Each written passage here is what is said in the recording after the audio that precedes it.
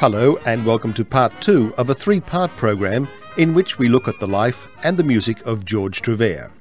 At the end of part one, we had followed George through the Jim Davidson Orchestra, the Colgate Palmolive Show Orchestra, and then he took up a position with Bert Howell at the Prince Edward Theatre. About this time, there was a push for greater Australian music content on radio. Arch Kerr, sales manager of the EMI Group, Columbia Parlophone and HMV, made decisions about what was later called artists and repertoire. He asked Johnny Wade to record some Australian compositions, and Johnny asked that George Trevare be the musical director for that session, and Kerr agreed. The accompaniment was sparse, and George was not credited on the labels of those Regal Zonophone issues, except as composer of one of the titles, Out of the Blue Gums. From that November 1942 session at Regal Zonophone, we hear three titles, all vocals by Johnny Wade, and the accompaniment directed by an uncredited George Trevare. The items we hear are The Land of Sundown, Red Cross Nurse, and Out of the Blue Gums.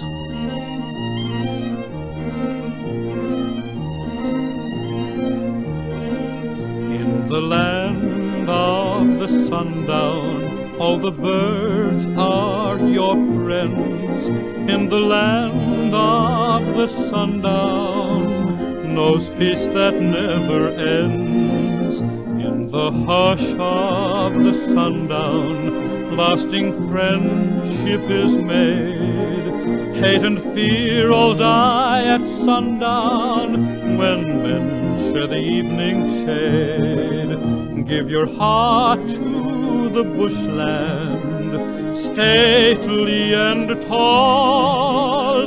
God made the bushland, cherish it all.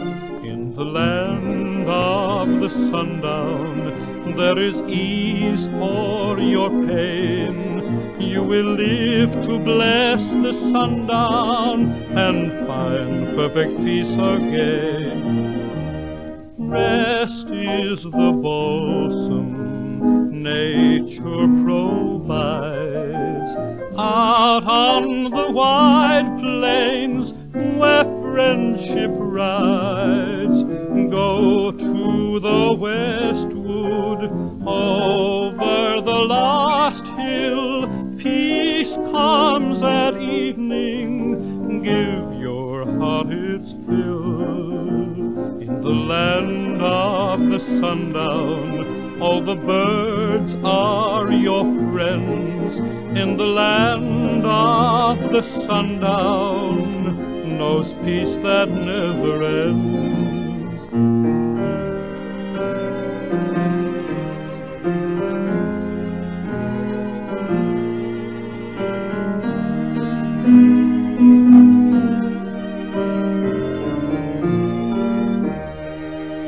Give your heart to the bushland, stately and tall. God made the bushland, cherish it all. In the land of the sundown, there is ease for your pain. You will live to bless the sundown and perfect peace again. In the land of the sundown.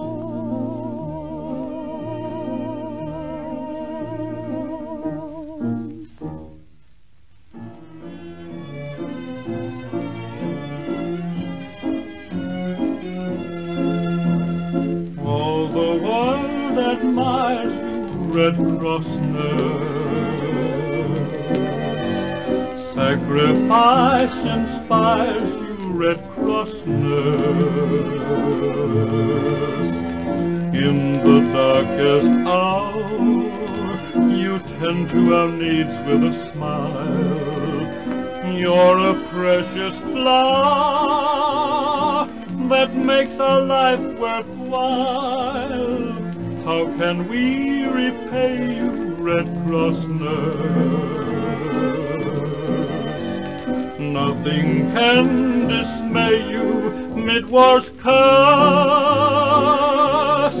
Like Florence Nightingale with spirit strong, you never fail when things go wrong. Good luck and God bless you, Red Cross nurse.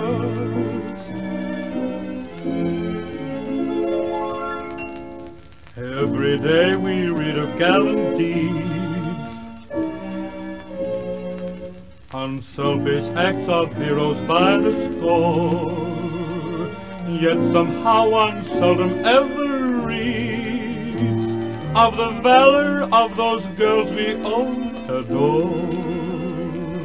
So let me pay a tribute here and now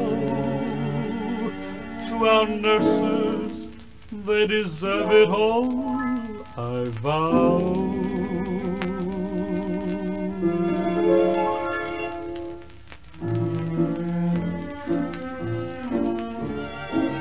All the world admires you, Red Cross nurse.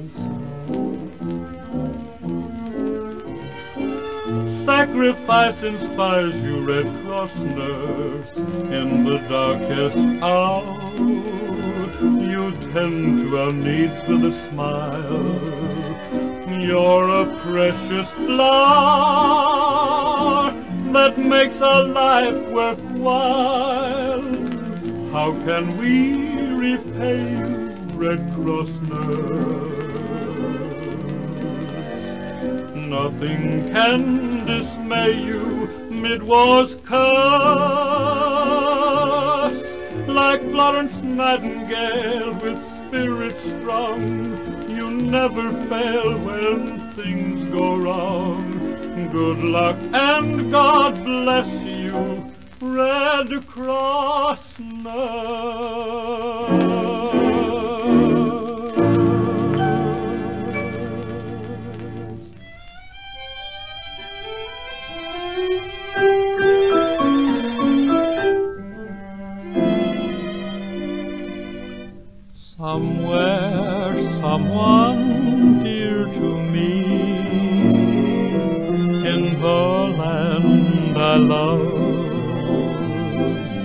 In the sky reminding me is the Southern Cross above. Though she is far away, each night I sing and say, out of the blue gums, I hear you calling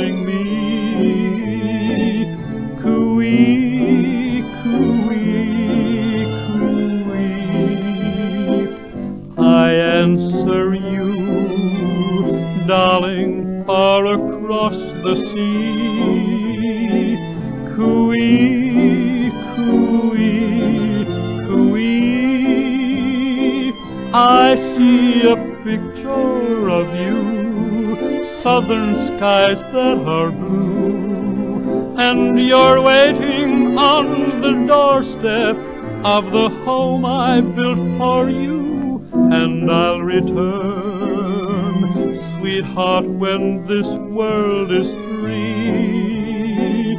Till then,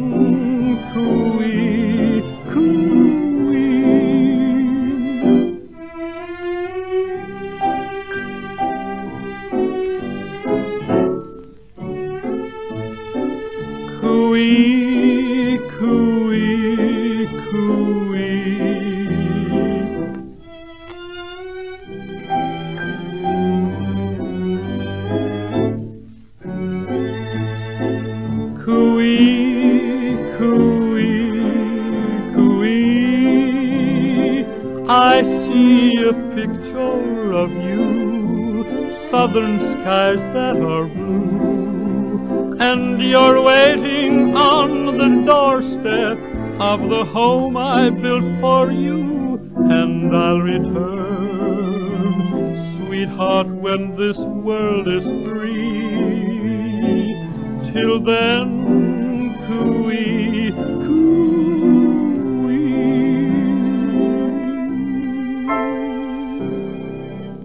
The records sold well for the times, especially the aforementioned Out of the Blue Gums, whose sheet music sales were in the tens of thousands. However, at a penny farthing a copy, George wasn't going to become rich. Arch Kerr was impressed enough to get George to musically direct another recording session, this time by singer Myrie Parker, with a five-piece backing group labelled as George Trevare's Australians. Thirteen days later, on March 25, 1943, with a slightly bigger group again, George Trevare made the first recordings to be issued under his name rather than as an accompanist for a singer. George Trevare's Australians recorded six titles that day, all of them Australian compositions. Released about mid 1943, they went on to become an important part of Australia's musical heritage. Their sentiments related to the war from an Australian perspective, and their sound was uniquely different from the great American and British dance bands of the time, as their sounds were from each other. There had been earlier Australian dance band recordings, of course, by the likes of Frank Coughlan and the already mentioned Jim Davidson, but those by George Trevare have their own special character. In part one of this series, we heard both sides of George's first recording. Now let's hear a further three sides from that session. Firstly, Farewell to Goodbye, with vocal by Johnny Wade. Then There's a Boy Up North and Calling You Home, both vocals by Norma Francis.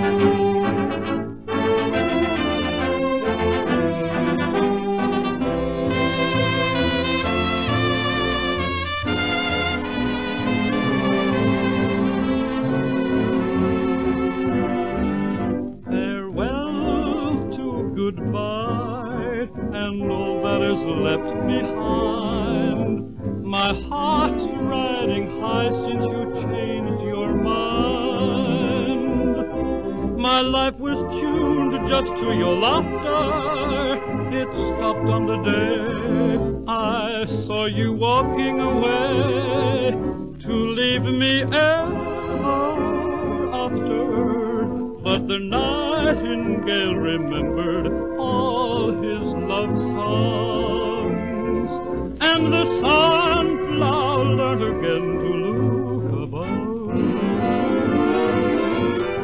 Farewell to goodbye, I'm back in the heaven I knew. We'll never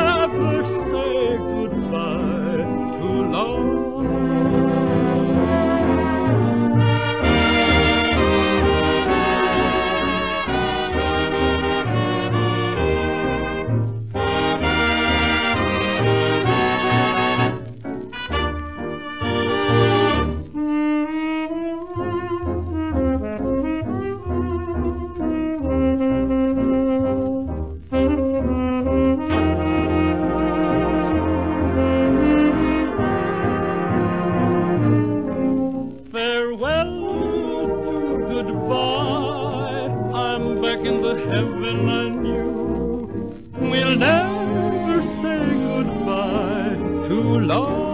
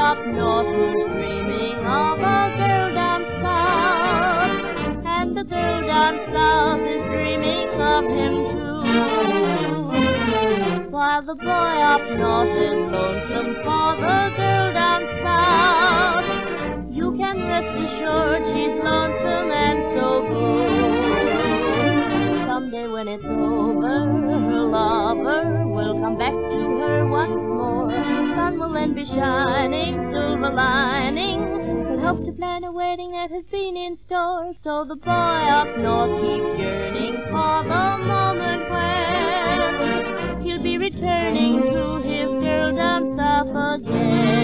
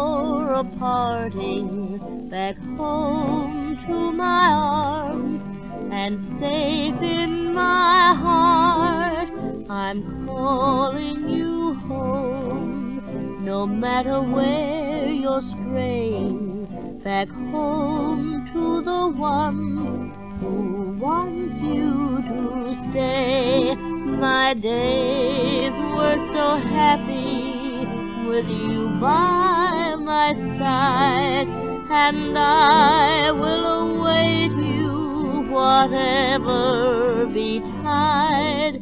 I'm calling you home because I love you truly. I'm calling you home. I'm waiting for you.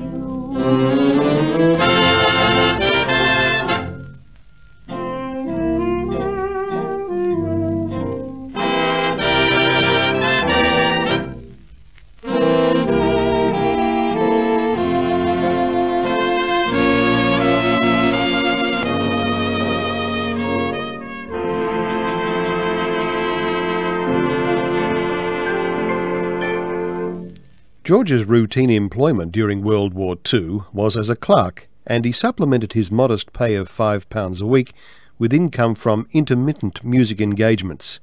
He had no orchestra of his own as such, but for example in 1943 was the band leader at Bondi Esplanade on Saturday nights, and in 1945 led a quintet at Ciro's.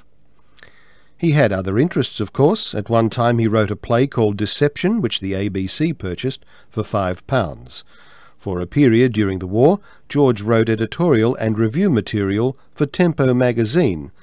When the war ended, he got work with a theatre chain as orchestra arranger and leader.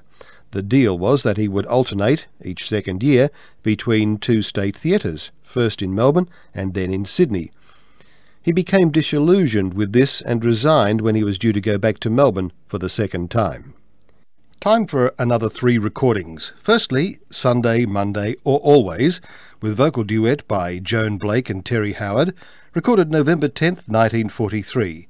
Then Pistol Packin' Mama, and We Mustn't Say Goodbye, vocals by Joan Blake and Arthur Slade respectively, and both recorded February 16th, 1944.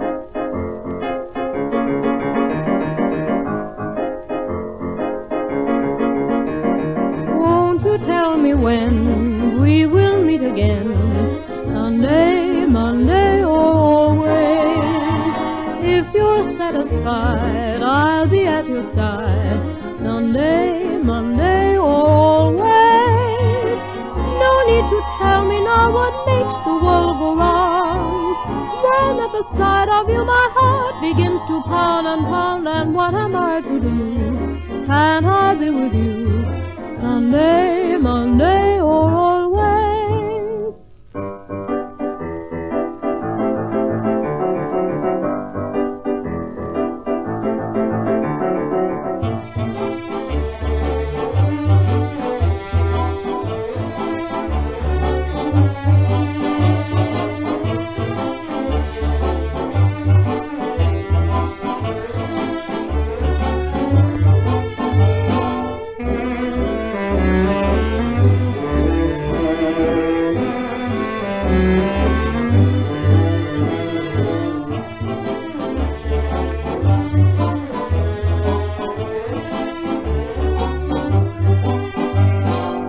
What do you do me when, when we meet again? Monday or Sunday or always. If you're satisfied, I'll be at your side. Sunday or Monday or always. No need to tell me now what makes the world go round. When at the sight of you my heart begins to pound and pound, and what am I to do? Can't I be with you? Sunday or Monday or always. Sunday, Monday, or always. Sunday or Monday or always.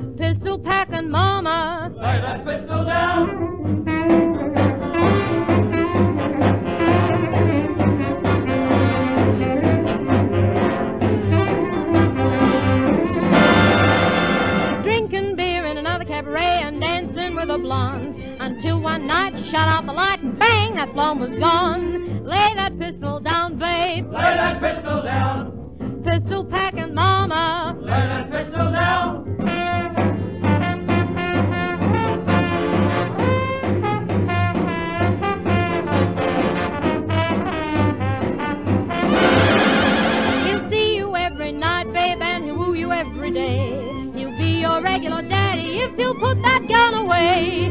Lay that pistol down, babe. Lay that pistol down. My pistol packing mama. Lay that pistol down.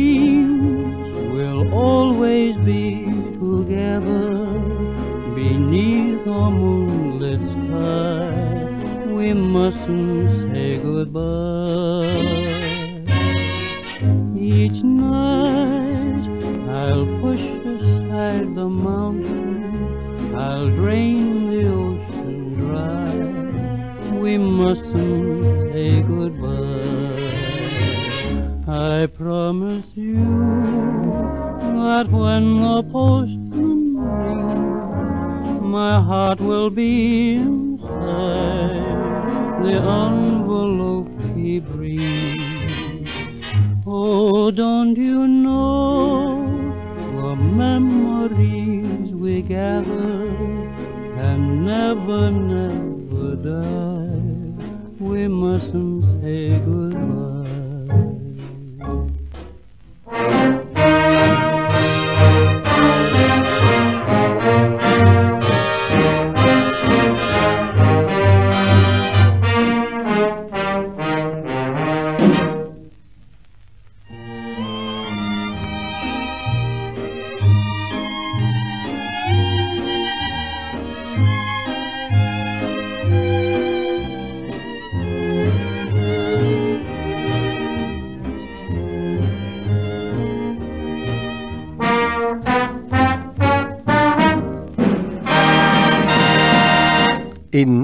1950, George applied for a position with the ABC to arrange and conduct the South Australian Symphony Orchestra.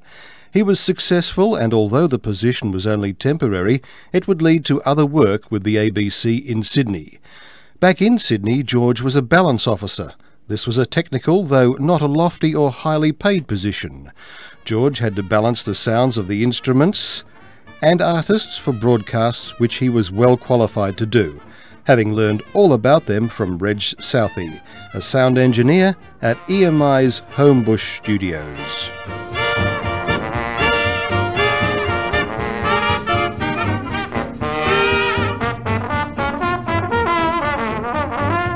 We continue the life and times of George Trevare next week in Part 3.